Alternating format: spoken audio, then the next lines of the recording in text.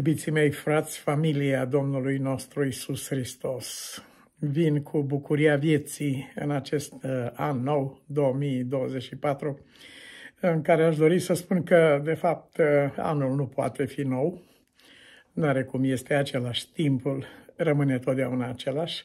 Ceva poate fi nou și anume înnoirea minții voastre așa cum spune Pavel în epistola către Efeseni și, către, și în Roman, capitolul 12.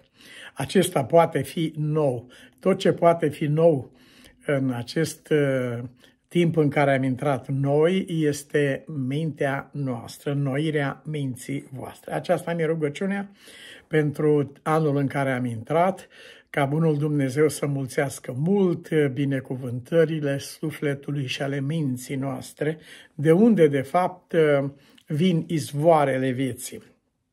În urma rugăciunii am fost îndemnat să vin înaintea familiei Domnului și a voastră a tuturor cu un verset și anume o expresie din acest verset pe care o găsim în capitolul 4 din Daniel mi-ar face atâta bucurie să putem lua cartea lui Daniel cuvânt cu cuvânt, să luăm cartea Apocalipsei cuvânt cu cuvânt, eh, rămâne de viitor. Aici însă vom rămâne cu ajutorul lui Dumnezeu asupra unei singure expresii pe care o găsim în versetul 27 al capitolului 4 din Daniel, 4 cu 27. Împărate sau frate sau soră, tinere, om în vârstă sau tu și cu mine. Placă-ți sfatul meu. Iubiții mei, sfatul acesta pe care ni-l dă Dumnezeu n-a ajuns la noi așa de două parale. E vorba de o lucrare care a costat sânge. E vorba de ceva, așa cum i-a spus un om al lui Dumnezeu, pisicii care a răsturnat lampa peste manuscrisului și a ars tot. Niciodată nu vei ști cât rău ai făcut. Așa este, pisica n-a avut idee vreodată ce însemna lucrul acesta, nici noi nu înțelegem mai mult decât ea ce înseamnă păcatul nostru, dar lucrul acesta poate fi reflectat în ceea ce am văzut la Golgota și în tot ceea ce am văzut în viața Domnului nostru Isus Hristos. Iubiții mei, rugăciunea aceasta va fi nu numai împlinită, dar uh, mult dincolo de bunul Dumnezeu. Placă-ți sfatul meu. Având, valoare, având în vedere valoarea sfatului lui Dumnezeu, având în vedere prețul sfatului lui Dumnezeu, el nu poate fi uh, tratat cu ușurătate, cu superficialitate. Placă-ți sfatul meu. Da, ce să faci dacă nu-ți place? Deci, nu, nu, cuiva nu-i place. Nu-i place. Iubiții mei, nu e o problemă aceasta. Este o realitate. Unuia îi place, unuia nu-i place. Dar, dacă Domnul spune placă sfatul meu, voi veni înaintea mea cu plăcerea mea și voi spune, Doamne, mărește plăcerea mea pentru sfatul tău și voi veni înaintea lui cu neplăcerea mea și voi spune, Doamne, nu-mi place de sfatul tău, dar nu-mi place de mine că nu-mi place. De aceea am venit la tine. Tu ești marele medic al sufletului meu. Fă, Doamne, să găsească ochii mei plăcere în căile tale. Cerul este urzit pe plăcere, a place. Acesta e fiul meu în care îmi găsesc toată plăcerea și la rândul lui fiul, plăcerea lui va fi umblarea cu Dumnezeu. E o plăcere aceasta. Nu este o spaimă, nu este un interes, este o plăcere. O plăcere înseamnă ceva care înalță, binecuvintează sufletul nostru. Placă-ți sfatul meu. Sunt cuvintele pe care le spune profetul Daniel uh, regelui, împăratului Nebucadnețar, care tocmai era atât de tulburat de un vis aproape transparent pe care l-a avut copacul cel mare.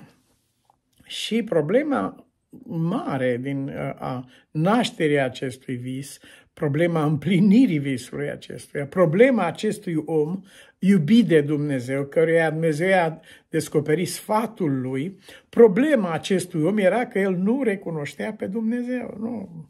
El se recunoștea pe sine. Eu sunt autorul tuturor. Noi trăim în vremea aceasta. Aceasta e vremea religiei omului.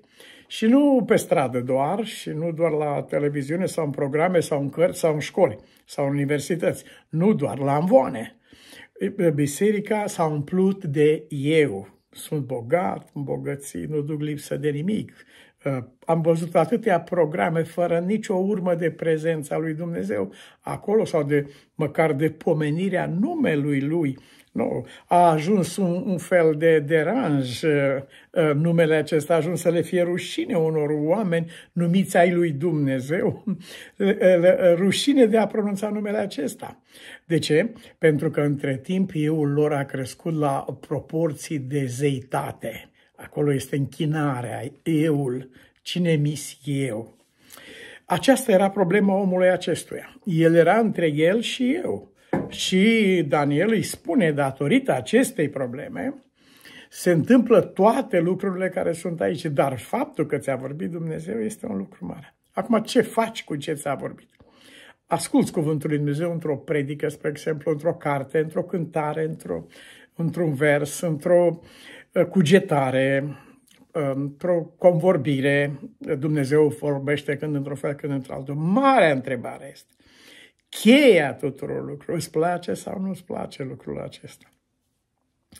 Iubiții mei, aici, așa cum vorbeam, cheia tuturor lucrurilor este dacă îți place. Că dacă nu îți place, nu mai contează că este adevărat, nu mai contează că te salvează de la moarte chiar. Omul a ajuns să pună am place mai presus de viața lui. Ahab nu avea nimic altceva împotriva profetului Mica acesta care reprezenta adevărul decât faptul că nu-i plăcea de el, nu-mi place de el, asta este. Bine, ă, ă, este anormal să spui așa ceva. Este anormal, doar nu mănânci sau din potrivă, vorba de un sfat. E anormal să spui lucrul acesta, dar în același timp este real pentru că asta este senzația. Aceasta este ce simte sufletul omenesc când interacționează cu trimisul lui Dumnezeu. Nu, nu-mi place, nu-mi place lucrul acesta. Daniel apelează la sufletul lui și cuvântul lui Dumnezeu la început de an, acum apelează la sufletul nostru. Placă-ți sfatul meu, spune Domnul. De ce? Pentru că e foarte prețios. A fost plătit cu un preț nemaipomenit sfatul acesta lui Dumnezeu. Doi, pentru că nu există un bine mai mare pentru tine decât sfatul acesta. Placă sfatul acesta. 3. Pentru că te va păzi de o primejdie de care nu poți la ora actuală să gândești sau să simți sau să înțelegi ceva. Din, nu, este, e departe. Mintea, mintea unuia știe să umble uh, departe în imaginație, dar nu va atinge niciodată proporțiile răului care bântuie în întunericul acesta. De aceea, placăți sfatul meu. Este prețios, e binele tău și te va scăpa de nenorocire. Pentru aceasta a luptat Dumnezeu. El nu dorea să se împlinească visul acesta. El nu dorea să împlinească prorocia lui Iona la Ninive, 40 de zile și Ninive nu va mai fi. Nu, aceasta era realitatea și era uh, mai mult decât o posibilitate, era aproape o fatalitate, dar faptul că Dumnezeu vorbește arată că încă este un strop de har. La fel se întâmplă aici cu împăratul. Și Daniel îi spune, toată problema este aici dacă îți va place sau nu. Că dacă nu îți place, indiferent ce se întâmplă, indiferent cât de mult te-ar iubi Dumnezeu, ce ți-ar descoperi Dumnezeu, ce ți-ar da Dumnezeu, nu-ți va plăcea. Și de ce? De ce nu-ți va plăcea? Pentru că plăcerea de sine sau închinarea la euul personal, aceasta divinizarea eului, că, cum se întâmplă în generația noastră acum, divinizarea eului dă o așa senzație, ca și drogul. Ce, omul care ia drog nu știe că va muri? Știe lucrul acesta. Cel care bea și își distruge ficatul nu știe că va muri din cauza aceasta, dar încă o dată și încă o dată și încă o dată și uh, până se intră pe uh, drumul fără întoarcere împăratul era aproape pe, de intrat pe drumul ăsta, dar încă nu intrase pe drumul fără întoarcere. Dovadă că Harul lui Dumnezeu apelează la el. Placă-ți sfatul meu. Așa cum uh, îi, îi spunea Domnul chiar lui Simon Magu, prin apostoli. Uite, pocăiește-te de această răutate a ta și roagă-te Domnului să-ți ierte gândul acesta al inimii tale dacă este cu putință. Adică ești dator să faci acest uh, ultim asalt, ultim efort. Ai intrat pe un drum extrem de periculos prin felul acesta în care ai ales să mergi, sufletul îți este plin de fiere amară, ești în lanțurile fără de legii și totuși roagă-te la Dumnezeu dacă este cu putință să fie îndepărtată nenorocirea aceasta de la tine. Acest lucru s-a dovedit în istorie, că atunci când Ahab s-a cumințit, aș zice, sau s-a întors la Dumnezeu, s-a smerit, Dumnezeu a spus profetului Ilie, așa cum găsim noi în Regi 21, în versetul 29, ai văzut cum s-a smerit Ahab înaintea mea? Pentru că s-a smerit, răul nu va veni în timpul vieții lui. Uite, lucrul acesta a evitat nenorocirea. Nenorocirea era la ușă, dar a evitat-o pentru că s-a smerit. Chiar așa cum spune profetul Ioel, Ă, sfâșiați-vă inimile, nu hainele, întoarceți-vă la Domnul Dumnezeul vostru, El e milostiv, plin de îndurare, cine știe dacă nu va lăsa, nu se va întoarce și uh, va veni binecuvântarea în loc de blestem. Adică ești dator să faci lucrul acesta. Cu alte cuvinte, niciodată nu te lăsa îngenunchiat sau târât de ideea că nu mai întoarcere, că să vezi ce păcat greu. Știi ce, frate? Asta vorbește despre ideea care o ai tu despre Dumnezeu. Dacă, dacă tu crezi într-un Dumnezeu care doar atât poate, până aici poate, e prea mult, e prea greu, atunci lucrul ăsta aici te va duce. Asta înseamnă că tu pui eul tău deasupra descoperirii lui Dumnezeu, care spune în Isaia, capitolul 1, pe oricum ar fi nenorocirea nenorocirilor din viața ta, vină cu aceea. Vino să ne tratăm, vino să ne judecăm, vino să stăm de vorbă. Așa spune în capitolul 1, da, omul se ridică mai presus, nu, eu știu mai bine. Păcatul meu e prea greu, nu poate fi iertat. Să vezi, e de fapt o formă a mândriei, a, de, cum numește cartea lui Daniel, foarte adânc cuvântul acesta. I s-a împietrit Duhul până la mândrie.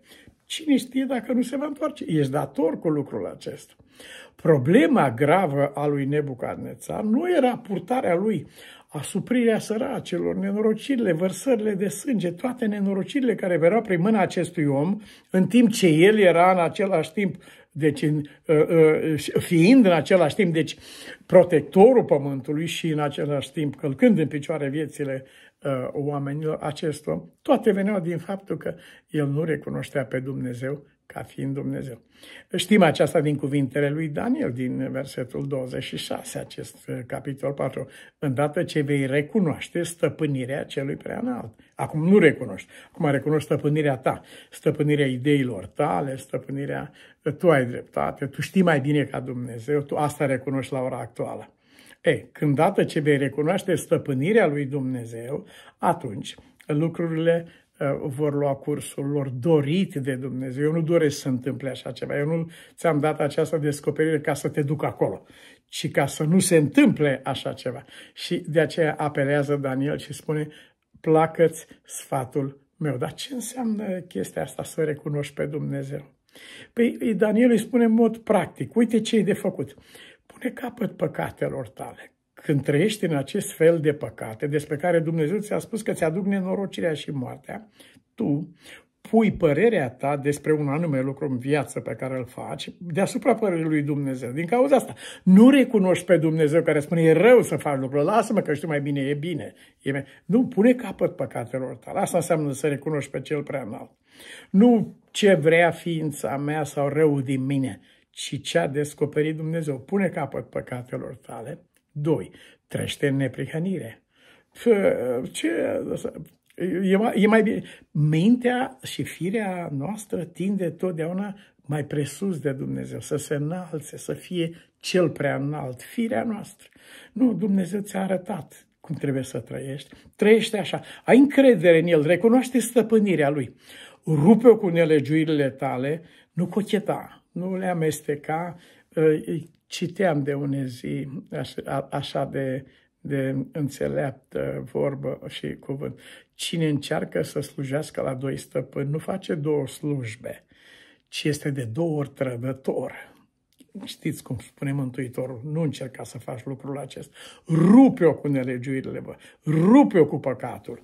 Uh, dacă a fost ceva cu adevărat greșit înțeles în uh, creștinătate, este ideea harului. Harul a fost văzut ca fiind o vopsea peste rugină, ca fiind o acoperitoare, o protecție, o învelitoare, răutate, o haină a neprihănirii peste una a nelegiuirii, niciodată. Harul lui Dumnezeu a fost arătat și ne învață să o rupem cu păgânătate. Asta înseamnă har. Și cineva a primit harul lui Dumnezeu și a crezut în el când o rupe cu păgânătatea și cu poftele lumești și, cu, și trăiește în veacul de acum cu cumpătare, cu dreptate și evlavie. Asta, acesta e adevăratul har, spune Petru. Asta e adevăratul har, pentru că falsul har îi spune trăiește mai departe cum găsești tu, că e bine că tot acolo, tot așa va fi. Nu va fi deloc la fel. De aceea apela Daniel la el, placă-ți sfatul meu, nu, nu, nu mai trăi în acest fel. Ai milă de cei nenorociți, nu te gândi numai la tine, uite-te în dreapta, în stânga.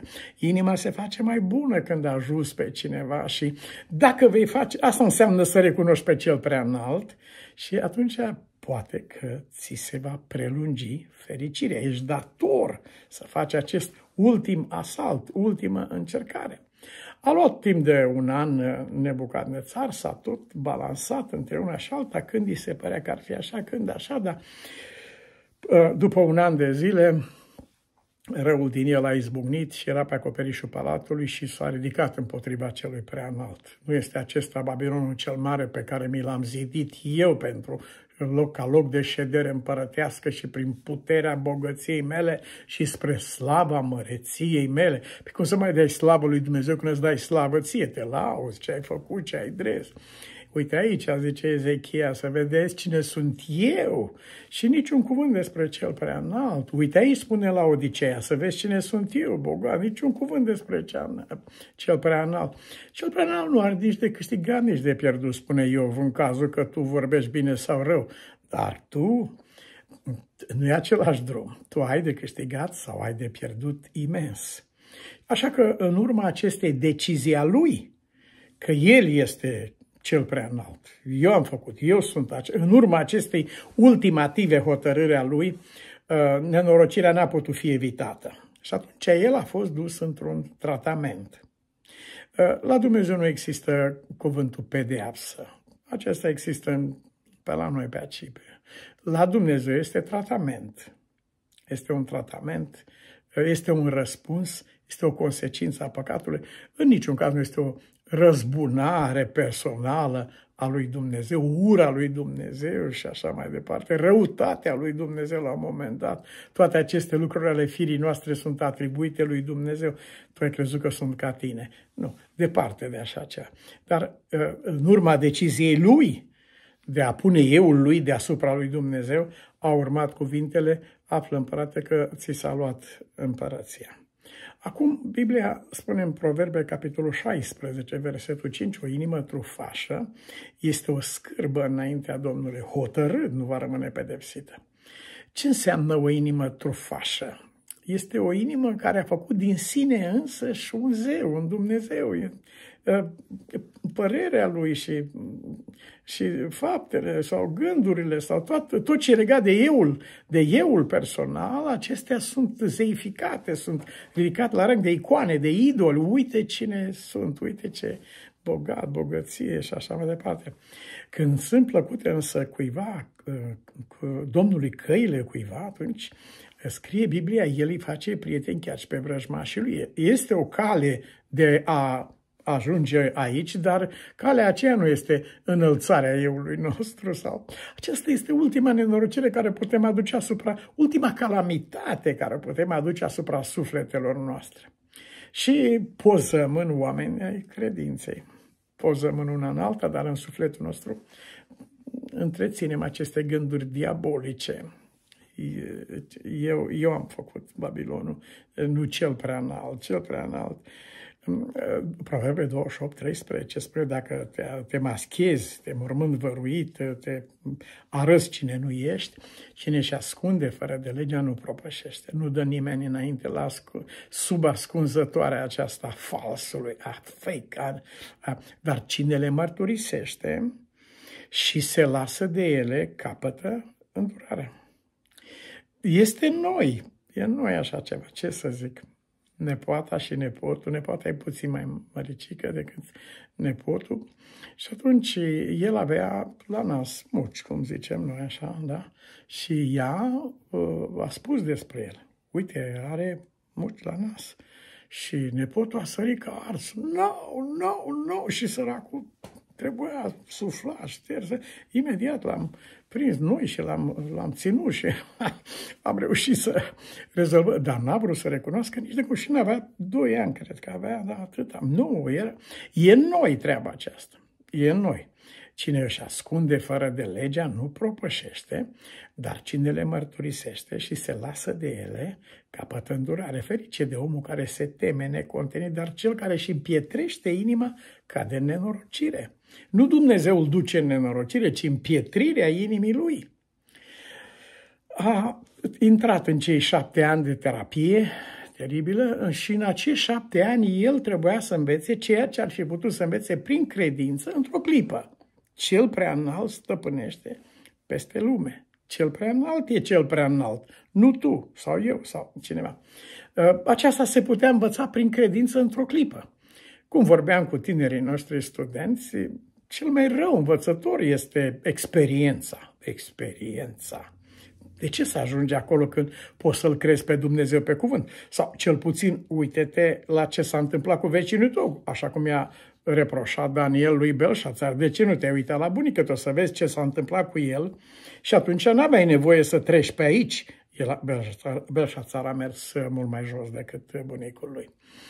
După trecerea vremii sorocite, acum spune Daniel 4, Nebucadnețar personal, eu, Nebucadnețar, spune el, am ridicat ochii spre cer, nu împotriva cerului, nu cu jurături de Dumnezeu și de cer și de blesteme și nu cu îngânfarea aceasta. Eu am făcut Babilonul. Am ridicat ochii spre cer. De ce?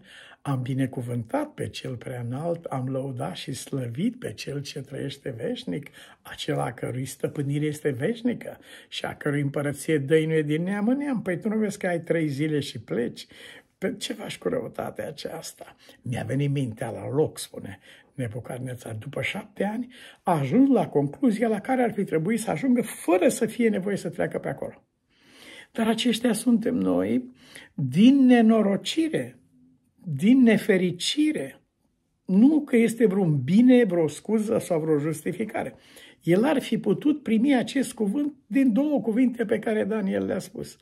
În versetul 37, Acum eu, Nebucadnețar, laud înalt și slăvesc pe împăratul cerurilor, căci toate lucrările lui sunt adevărate, toate căile lui sunt drepte și el poate să smerească pe cel ce umblă cu mândrie. Era experiența personală. El nu cita din vreo carte, ce am trăit eu personal, aceea împart și împărtășesc cu voi acum. Aceasta spunea Nebucadnețar, după cei șapte ani de uh, animalism, pur și simplu, de decădere cumplită, în care a văzut ce înseamnă ca un om să fie lăsat în, în mâinile lui proprii, să-și ia soarta în mâini, să meargă de capul lui. Uite, aici duce drumul acesta.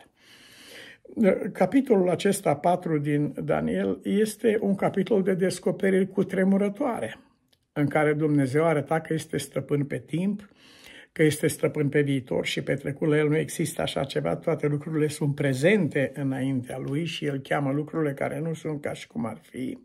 Toate acestea au fost clare, dar au depins, toate acestea au depins, după cum o mașină foarte frumoasă, foarte bună, sau chiar o casă, sau depinde cheia aceea care e în mâna ta. Cheia este în buzunarul nostru și cheia era în buzunarul lui. De aceea Daniel a apelat la sufletul lui, îi voi vorbi la inimă și voi, voi încerca să-i mă inima.